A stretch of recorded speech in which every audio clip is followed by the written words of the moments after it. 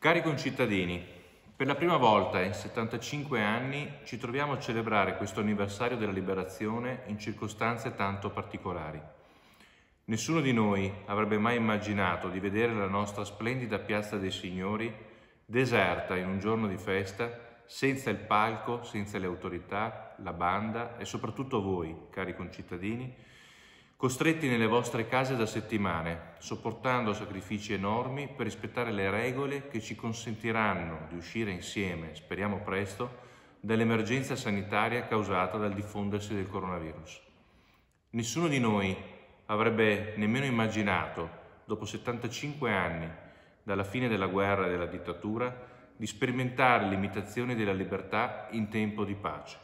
né di vedere le strade della città deserte, le scuole chiuse da settimane, tanti negozi con le serrande abbassate per decreto e altrettante aziende ferme, con tutti i disagi che ne conseguono sul piano sociale ed economico. Siamo tuttavia consapevoli che si tratta di una situazione temporanea e necessaria per sconfiggere un nemico invisibile che ha causato vittime, inflitto dolore, a quanti hanno perso una persona cara e causato soprattutto problemi a quanti si trovano in situazioni di disagio a causa della sospensione delle attività economiche. A tutti loro e a quanti lottano ogni giorno in prima linea contro l'epidemia vanno il mio pensiero e la mia vicinanza anche in questa occasione. Viviamo tempi difficili e straordinari, è vero, ma consentitemi di dire che non mi ritrovo nel pensiero di quanti hanno accostato questa situazione alla, stazio- alla stagione tragica della guerra e alle vicende che dopo anni di privazioni, coercizioni e persecuzioni condussero il nostro Paese a riconquistare la libertà grazie al coraggio e al sacrificio di tanti italiani, le cui vicende sono rimaste in alcuni casi nascoste tra le pagine della storia. Mi riferisco non solo alle donne e agli uomini che parteciparono a vario titolo alla lotta di liberazione, a cui abbiamo reso omaggio questa mattina a Villa Guiccioli, ma anche ai tanti militari italiani che dopo l'8 settembre rifiutarono di continuare a combattere al fianco dei tedeschi,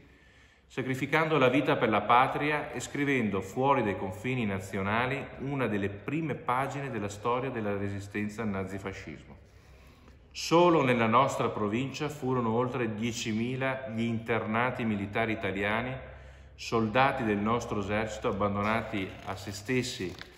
nei vari scenari di guerra oltre confine dopo l'armistizio, ai quali i tedeschi negarono lo status di prigionieri di guerra in quanto rifiutarono di collaborare con i nazisti, spesso trovando la morte nei campi di concentramento o nelle fabbriche di guerra del Terzo Reich.